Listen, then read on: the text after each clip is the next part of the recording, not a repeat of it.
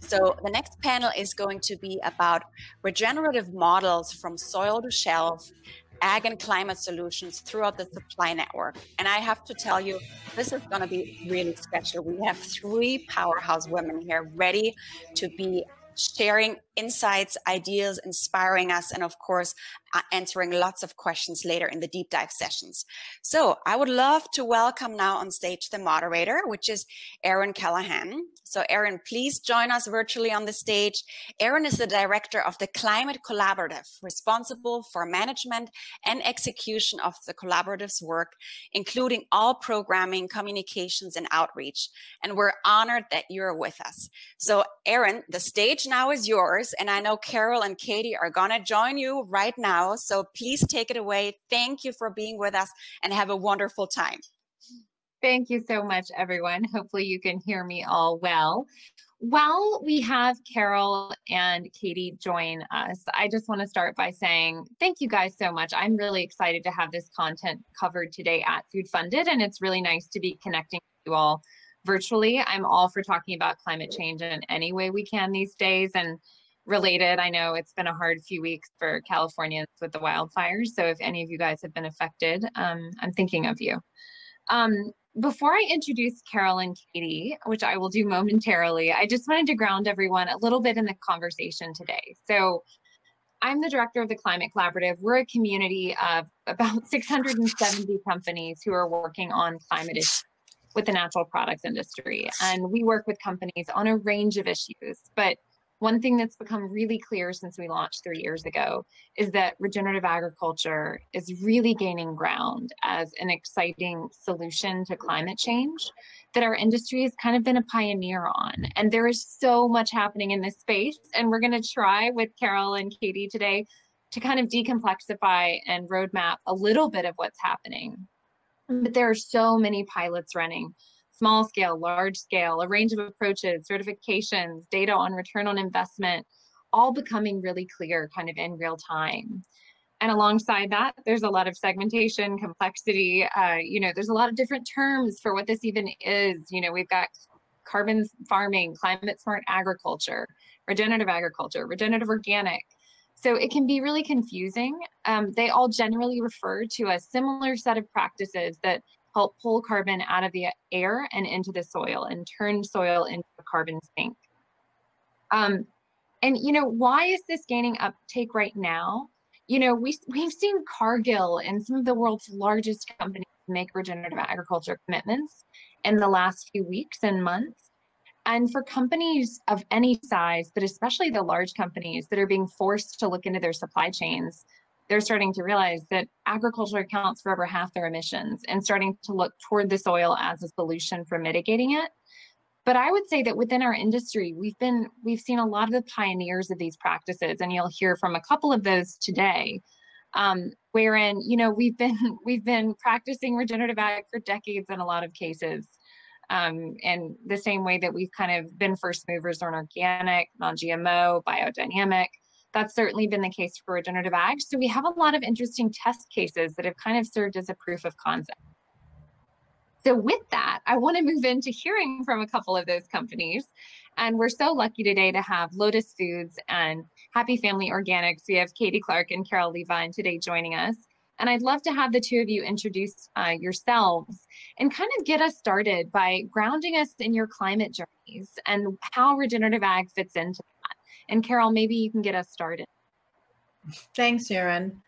Um, you know, agricultural sustainability has been part of our DNA since Ken and I founded Lotus Foods in 1995.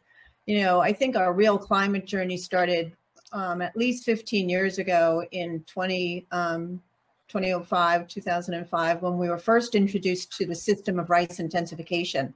Um, this was in, this is an agroecological uh, methodology for growing rice, whereby smallholder farmers using 50% um, less water, 80 to 90% fewer seeds, no agrochemical inputs, um, emitting about 40% less methane gas, where these farmers can actually double and triple their their yields and it also lessens women's labor. So you know most people don't know that rice is the staple for over half the world's population but but they also don't know people don't also know that global rice production consumes a quarter to one third of the planet's annual renewable supply of fresh water. So this is leading to serious depletion of watersheds um, and um, and and even irrigated rice production is a serious emitter of greenhouse gases. So just by the way we change how rice is grown, we can have economic, social, and environmental impacts. And uh, it, we feel it doesn't get better than that, and we feel so fortunate to be able to do this work. Great, and I definitely want us to dig much more deeply into more crop per drop, but Katie would love to first have you ground us in Happy Families regenerative journey and how it fits into your broader climate journey. Um, so for those of you that are not parents, Happy Family Organics is an organic baby food company. We were founded in 2006, um, and our mission is to change the trajectory of children's health through nutrition. And our mission is really intimately connected with um, being an organic company. We've been organic since day one, and that has really been the primary vehicle by which we accomplish our mission. Um, and for many years, we, um, as a company, felt like organic um, was the way to be a sustainable company. And over the years, we've really um, come to realize that as a company, we have a very we have a holistic supply chain, and we need to think critically about sustainability at, at all elements across that supply chain. So agriculture is still a really key component of our sustainability strategy. Um, but we also focus heavily on um, waste when it comes to packaging, um, as well as uh, climate more broadly, thinking specifically about carbon um, and carbon reductions. Um, so regenerative agriculture is one of the ways in which we aim to um, help accomplish our, our carbon goals. And I can get into a little bit more about what, what we mean when we say regenerative next. You've preempted my next question, Katie. So that kind of is, I think, as was kind of in my intro trying to get across the fact that regenerative means different things to different people. And it's being talked about, uh, about so much right now that kind of, I think it would be helpful to ground people here and kind of what does regenerative mean to each of you? And Caryl, maybe you can get us started. For for Lotus, what does regenerative mean to, to the work that you do and to the practices that you're pushing across your own supply chains, but also promoting much more broadly Well, when you know we we saw a need to address the negative social and environmental fallouts of the Green Revolution, um, and SRI was really one of these um, one of these solutions that were was right there underneath the soil for us, and so um, we really this was a viable solution to food security and poverty alleviation. And with the increase in yields, using less inputs, and by creating a global marketplace, you know, we have really seen not only the sequestering of carbon and the building of soils, but you know farmers um, prosperity and livelihoods you know being enriched. So it's you know i know we're going to talk about this later but we see um, regenerative as being more holistic. It's not just about building soils. It's not just about water. It's not just about sequestering carbon.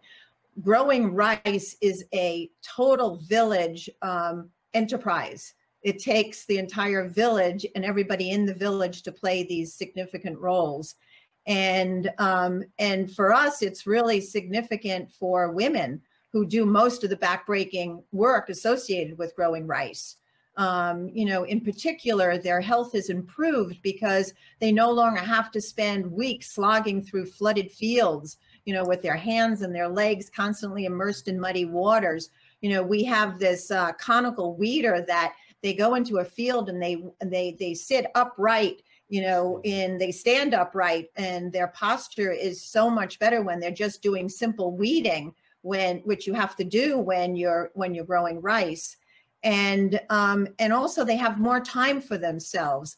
Um, this this methodology allows them to spend less time in the fields especially during the the the sunny days when the sun is out full and and it's so hot And then all this extra time that they have now that they can spend on their own kitchen gardens or then rearing their children's or actually even starting enterprises.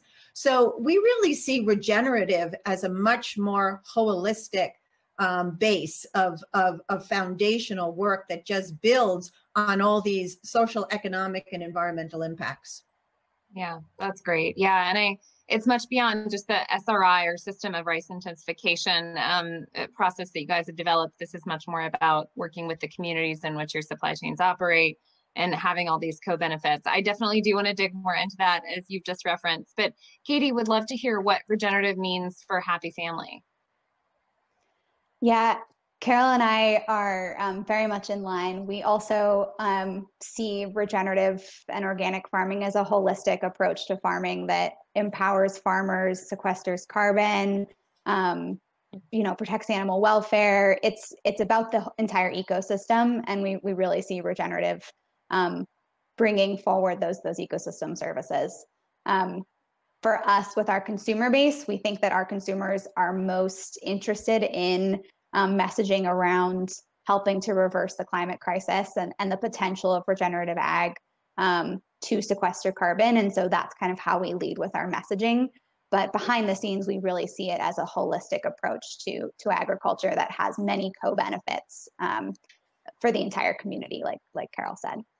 Yeah, that's great. And I kind of want to dig into that a little bit. And, you know, for both of you, it's really clear for a lot of companies deciding that you want to invest in re- regenerative agriculture projects up your supply chain really means getting to know your suppliers better, getting to know your farmers better, and working really closely with them to better understand their needs, the soil's needs, and have these kind of tailored outcomes based approaches in a lot of cases that help, you know, not only store more carbon in the soil, but ideally increase productivity, um, increase farmer profitability, all these things that really matter given where the current farming system and agriculture system is in most places globally. Um, can you kind of talk a little bit about what that journey has looked like for you? And Lotus, maybe we can start with Caryl Lotus's journey on this. Um, I'd love to hear a bit more about more crop for drop and how you guys went about developing this and how you went about building it into your supply chains. That's quite a lot to take on. What what does that look like in terms of getting to know needs and getting, you know, supporting these transitions on the ground?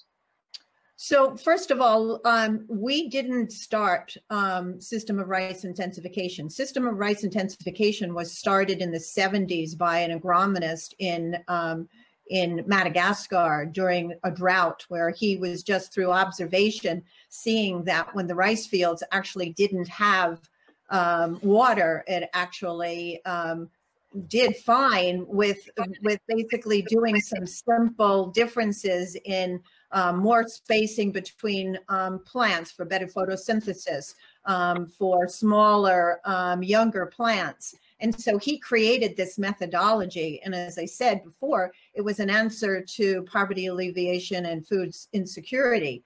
Um, what we've been able to do in, in, in, in the last 15 plus years is to really create the marketplace where so by we can scale this agroecological methodology that then how then actually blessedly um, sequesters carbon and um, reduces methane gas emissions. But we've seen that our farmers often talk about how much better they feel when they no longer work with toxic chemicals. Um, we've also had an abundant amount of research showing that with healthier soils, under more crop per drop management, the nutrient density of the rice grains is much higher than rice grown conventionally. So these are these are the first-hand impacts that we've seen that adapting these practices truly transform the well-being of uh, of the entire village, you know, community. Um, so you know, we we just feel that you know, being a, a part of the pilot for regenerative organic agriculture certification, you know, pioneered by brands like Dr. Bronner's and Patagonia and others, really, um, really helps to transform our global food system. Yeah, that's great. And I definitely want to dig into some of the barriers and how we can get around those and how everyone in this kind of um, meeting can help help achieve that. But Um, Katie, I know Happy Family has also had a couple of pilot projects that you've run and learned a ton from. It sounds like just from having talked to you separate from this. I'd love to hear kind of you know how you guys approach the the pilot that you first did a couple of years ago and what the journey has looked like since then i think for a lot of companies it can be quite intimidating especially if you aren't the biggest buyer of your supply chain of how do you support farmers on the ground? What do those conversations look like? How do you actually support these transitions? So could you talk a little bit about um, happy families journey on that front? Yeah so um, in 2018 we launched our first pilot program of a regenerative ag farmer training um, program. Uh, and it was really meant to be a pilot. It was very small scale. Um, and really worked closely with two farmers in our supply chain, one in Argentina and one in Michigan, um, to really just start to understand what were the issues and obstacles that they were facing on their farm um, to being productive and um, what kind of concerns they had on their farm and also to kind of help them baseline and understand how all of their different practices were contributing to their farm carbon footprint using the cool farm tool um, and we learned a lot from that small scale pilot we learned um, one that our marketing teams were really interested in telling the story around us working really closely with our farmers so that really helped us to get buy-in to continue on doing more pilots in the following years. Um, but we also learned that farmers needed a lot more than just a few day engagement from us um, with a with uh, a regenerative ag or, or soil health expert. They really needed more continuous engagement if we were going to um, support them in practice changes to to get closer to a more regenerative model. And so that's what led us to um, where we are today, which is um, we are now working with four farms um, or small communities of farms um, through uh, working with our consultants, uh, Pure. And uh, we're providing more hands on technical support um, as well as a regenerative farmer fund that we launched this year. So um, it's it's not a massive fund. Um, there's forty thousand dollars in it, and we can finance four farmers um, up to $10,000 each to support the transition of a practice they want to implement. So our focus this year was on soil health. Um, and so we have some farmers that are experimenting with different combinations of cover crops. Um, we have some farmers that are um, planting trees along their um, their waterways to help preserve um, water quality and quantity, um, and and a few other projects. and so it's like I said, it's not paying entirely for all the projects that they they want to do but it's really helping to get farmers kind of over the hump. And it's more it's a year long engagement with our farmers instead of just a, a week long engagement with our farmers. So they have ongoing access to um, technical support from from pure yeah. that is i love this project. And i just one follow-up katie. You know i know you've also talked about how farmers are also investing in these projects. So you're getting the farmers really bought in and kind of working to really invest their own kind of resources and time in making these transitions and combined with the fact that you guys are making it workable for kind of what you can do in a given year recognizing you can't do everything. So i i really like that approach that you guys have taken. Um would love to just kind of hear you know based on the the pilot projects that you guys are seeing um if you've you know i you guys have kind of iterated have this iterative process i would love to hear kind of what that's looked like internally for you guys as you kind of charted what your regenerative journey was going to look like as a company how you guys have been able to you know i think hearing about how you got the internal buy-in from marketing to be able to tell this story publicly and have it be really meaningful would love to just hear a little bit about whatever you can share of that kind of internal journey of how you guys have built this i think that'd be really helpful for other companies listening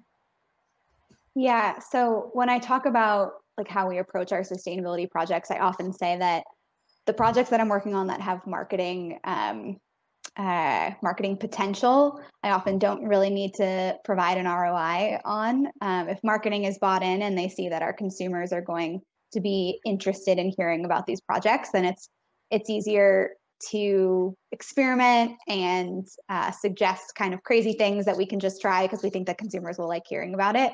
Um, if it's more kind of nitty gritty sustainability projects in our supply chain that we think consumers are not going to be that interested in, then I need to provide the business case and, and have a strong ROI.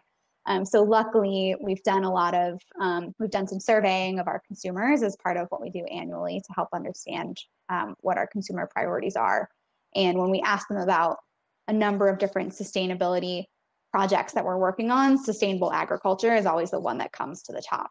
Um, so that has been helpful to kind of justify that um, working with our farmers and telling the story of how we're working with our farmers um, is going to help our consumers be more loyal and be more interested in, in buying our products.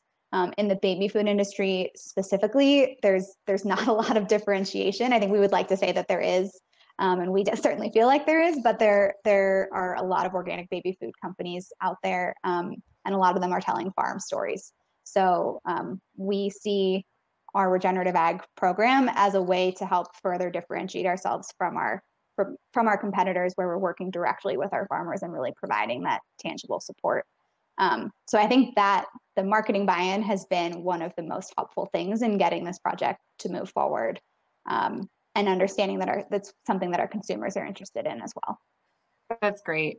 That's really helpful. And I think, you know, it's kind of, I want to move into the consumer piece a little bit more, but I'd first love to just dig a little bit more into up the supply chain with farmers and ask one final question. I think to kind of frame up that question, what this conversation has made clear so far for both of you is that regenerative agriculture refers to practices within how you grow the food that you're growing up your supply chain, but also is kind of becoming part of a company ethos for how we do better um, we do more good than bad as companies um, when it comes to climate, but also for how we support um, systems level changes that are needed to kind of build communities where we operate and have a lot of co benefits. And Caryl, I think what you said earlier in the call really showed, you know, with the SRI system of rice intensification, more crop per drop, which you guys use, um, those co-benefits are really clear. It's really clear that this is improving lives up the supply chain, especially for women. Um, it's reducing water use. It's 40% less methane. There are all these benefits that make it just a really pragmatic, holistic approach and kind of solution to climate change. Can I would love just, you know, why isn't this being used everywhere? What are the kind of structural barriers that prevent it? It seems like such a natural solution. It, and, you know, improves yields and, and profits. Um, what are the big barriers to, to having it scale more than it already is? The system itself is actually part of the problem because big ag really doesn't want this to happen. They want the farmers to be able to be beholden to them, to buying their seeds, to buying their chemicals. Um, and, and it's it's just crazy. Um, so what we love about the system of rice intensification is that it turns that totally upside down. The farmers actually are the ones who have the empowerment. Um, and so because rice is such an important player globally, it unfortunately has too much to do, you know, in the, in the political um, arena and with governments and, um, and and and you know we have to really think more about the farmer itself um, themselves. And that's what we've been able to do is by creating markets directly for the farmers who are growing all this food they can really be empowered. And and that's really what we need to do more of and support more of no, it's really, I think that what you guys have both made clear in this conversation. So, policy advocacy, it sounds like is a, is a piece of that. And I know there's some of that happening on the agriculture front in the US, kind of supporting regen ag policies. California has the Healthy Soils program. And then programs that just support, you know, provide financial support, technical support up the supply chain are really key for companies to think through if they want to be supporting, or anyone on this call, investors, anyone who wants to support these practices. We need kind of capital and technical support. Um, I want to move a little bit downstream in the supply chain, building on what Katie said earlier around, you know, it seems like a part of making these practices really scale is building a consumer market that demands it in the way that we've seen with organic. And I would love to get the two of your take on this. I know Caryl Lotus does a great job of telling the story of more crop per drop and does it in a way that's fun and engaging. Would love to hear both of your kind of um, kind of insights on how we build a, consumer market that really cares and is invested in supporting regenerative products and buying foods and maybe even paying a premium that goes back to the farmer. Yeah, you know, for us, educating consumers and the trade about rice production, rice biodiversity, better ways to grow has been something that we've been doing for a very long time, but it's not something that can be you know, achieved overnight. It's definitely um, persistence and just, um, you know, it's it's part of the journey. But we're thrilled that our white and brown basmati grown by SRI farmers in India has qualified for the new regenerative organic certification, you know, at the silver level. Um, this, we decided that we wanted to be a part of the pilot um, when this started um, over a year ago was to number one, to be the voice of the smallholder farmer outside, you know, there's, there was the majority of the pilots were farm farming um, communities inside the U.S. And what goes on in the U.S. versus globally, especially in some marginalized developing countries, is very, very different. You know, around the cost of soil. Um, soil um, lab testing um, in the in you know when you talk about tilling um, and things like that. So we really felt it was important for us to be the voice of the smallholder farmer and and basically how to be because we were being a part of the standard, we got to really you know be an integral part of uh, how it was going to be um, put to you know finalized in the standards and put to everybody else. Um, the other thing for us, it was a really wonderful opportunity for us to validate um, that SRI practices are regenerative um, which we knew they were, but now this gives us the third party certification that really helps to speak to um, the regenerative nature of sequestering carbon, saving water, um, you know, reducing methane gas. Um, so, um, you know, I, I, just think it's a great opportunity to educate the consumers and in our trade and all the necessary great work that we're all you know involved in doing this and also be a pioneer for the rest of the industry as well. That's great yeah. Well my dog responded to what you just said. She's moving around on the couch when you started talking about consumer engagement. So um, katie i know happy family has also um, launched a line and is trying to connect with consumers and educate and engage them. Could you speak a little bit to that yeah, so uh, in February of this year, we launched um, a new line of baby food purees that um, are made with ingredients that are what we call farm for our future. Um, so they're all ingredients from farms um, that are implementing regenerative practices. They're all baseline organic, um, but also implementing um, conservation or no-till, really diversified cover crops, uh, some are some are incorporating livestock into their their rotation. So really, we were really looking for farmers that were going above and beyond um, the organic standard for this product line. Um, and our marketing and communications team has done a really fantastic job putting together some um, resources to educate both parents and kids um, about what regenerative agriculture means. Um, so they, uh, our team developed a, a short little uh, video that um, uh, takes takes kids through a day in the life on the farm um, and all the different players that are important on a farm. Um, we, we developed a storybook as well that uh, similarly takes kids through the different components of a farm um, and how you how you have a regenerative and, and organic farm um, and what are all the different practices within regenerative. And we uh, actually had Nick Carter read the storybook to his uh, to his son on Instagram Live. So for those of you that are uh, millennials, you, you, can that resonates with you probably.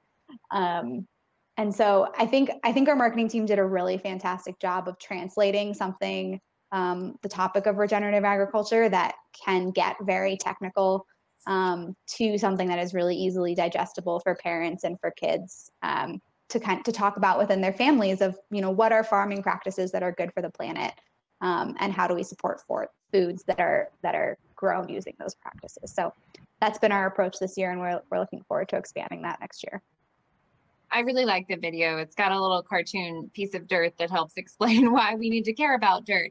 And I think that the more both of you guys, Lotus and Happy Family, have done great jobs at making it accessible, fun, and kind of bring people along on the journey with you to decomplexify. And it just feels like that's going to be really important to keep doing is because regenerative agriculture isn't really widely known now. I mean, it's some people fall asleep by the time they get to the end of saying it. It's very confusing as a term. So, how do we make people care about soil? So, that's really good to get both of your opinions on. Um, I we just have a few minutes left. I wanted to touch on, you know, this has been a crazy year to be carrying out any sort of supply chain project. Um, you know, in some cases, companies' plans have been accelerated or slowed down. Um, you know, with the global pandemic, with both of you guys being at the forefront of just keeping food supply chains running, um, can you talk a little bit about, you know, has this year had an impact on any of the regenerative work that you guys have been doing? Are you full steam ahead? Are there kind of challenges you've encountered that you're getting around? Would love to just hear what that's looked like.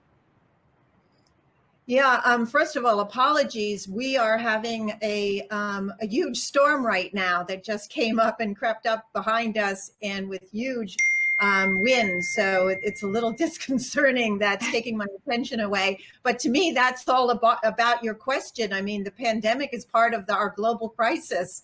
So yes, um, we have to think about climate justice you know when we think about our business and our strategic planning during this these uncertain periods you know we've been um, lotus foods have actually seen an increase in business um, during this time due to the rice being a staple pantry food um, so we've actually accelerated our projects with all our supply chain which has had great impact in that it has increased SRI production, which means more organic and fair trade premiums, um, which is an additional safety net for our farming families, but also sequestering more carbon and and um, alleviating some of the methane emissions. So um, you know we really feel that you know it's giving um, more consumers an opportunity to try our nutritious grains and to learn about our impacts. So um, we're taking care, we're taking advantage of the opportunity great. And I'm sorry that climate change is getting in the way of talking about climate change where you are. I'm glad you're surviving. Katie, um, I know we just, I have two minutes. Okay, I've got two minutes. Um, Katie, I want to ask one final question to both of you. So if we could just hear quickly from your end, you know, what's this year's impact been? Yeah, so luckily uh, we had already planned for our Project Greenhouse operations this year to be relatively digital. Um, we had four farmers apply still. We were hoping to be able to kind of select from a broader group, but we still had four farmers apply. So we, we were able to fill all of the spots for our for our fund and we're still working with all four of them. Three of them digitally, one of them is in Europe um, and they where they have a little bit more flexibility of movement. And so they're planning a um, socially distanced, safe farm visit uh, for next week, actually, to the farm in Italy. So we've been full steam ahead as well. That's really heartening to hear how people are adapting. The last question that I want to squeeze in for both of you is just quickly for everyone in this virtual room, everyone listening, what do they need to know? What do they need to be doing? How can they be supporting these transitions? If you each have a sentence uh, you can give on that, would love to close with that. Caryl, if you want to get us started. Um, just to really um, to pay attention to um, to what you're buying and what you're doing, and and and to be part of the solution. Um, everybody can do that, and um, whether it be recycling or you know having a kitchen garden, there's just so much um, positive that one can do just individually. Yeah, Katie. I'm going to say policy, policy, yeah. policy policy. There's maybe um, vote. a lot of yeah. and vote. Definitely vote. Um, but but if you're interested in the the regenerative ag, carbon farming, carbon sequestration space, there's a lot of bills that come up um, to help support um, farmers and incentivize them to make these transitions. So pay attention to those and, and support them when you can. Yeah and work together. Don't try to do everything alone. We can all get so much farther if we collaborate. And the collaboration that we have through the collaborative has just been so heartening to see this build and build and build. So um, hopefully we can all keep having these types of conversations together. Thank you both so much for today. This has been lovely chatting with you. I really appreciate it. Thank you so much, Caryl, Katie, Erin. Again, deep gratitude. This was incredible content. Oh my goodness.